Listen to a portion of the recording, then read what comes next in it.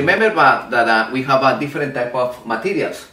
Uh, we have a Aqualoy, Aqualoy 22, Aqualoy 19, Aqualoy 17, and uh, we have a Tobin bronze, we have a stainless steel, we have different type of materials. Depending of the material and depending of the diameter of the propeller, we are going to calculate uh, the diameter of the shaft.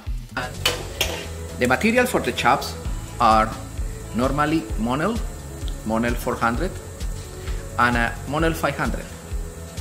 There are other type of materials like a Tobin, Tobin bronze, and a Naval bronze. Those are special alloys authorized for the fabrication of the shafts for propulsion systems.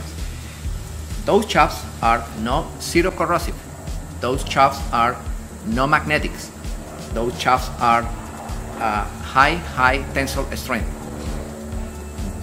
This, uh, this shaft is a special material.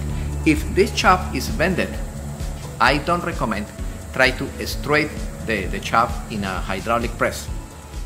If you disassembly, this is the typical mechanical stuffing box with seal with seal packets. With seal packets, this one. When you open, when you open this element, you found it over there,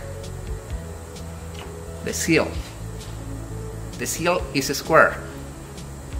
Is normally is, is a special fiber impregnated with a graphite like this or impregnated with a animal grease with fat.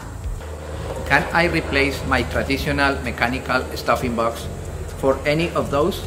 For the Velo systems or uh, for the PTS system? Yes, you can. It's simple.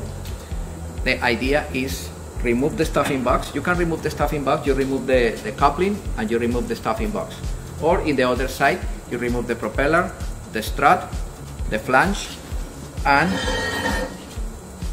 and you introduce the new the new stuffing box. We are going to install this one, the PTS. There are boats with a single strut like this or uh, with double strut. The strut is uh, the element that uh, keep the shaft aligned in between the engine and the propeller. The strut internally have a bearing. The name of that bearing is the cutlass bearing. The cutlass bearing is located here. The cutlass bearing is, is uh, on place because those set screws.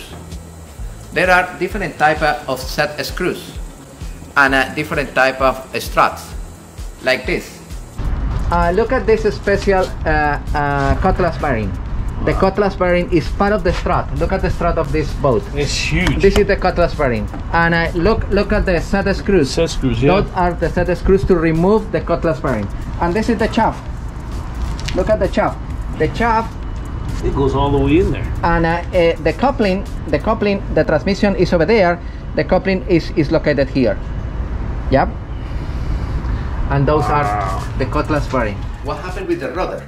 The rudder, in the shaft of the rudder, the rudder used a same stuffing box, exactly the same stuffing box used in a, in the propulsion system on the shaft. Normally, the stuffing box located on, a, on the shaft of the rudder is the mechanical stuffing box with the seal packets that I explained to you the procedure to replace that, uh, that uh, uh, package. Yes, this is another element where it's possible that the water penetrate and enter in in the boat.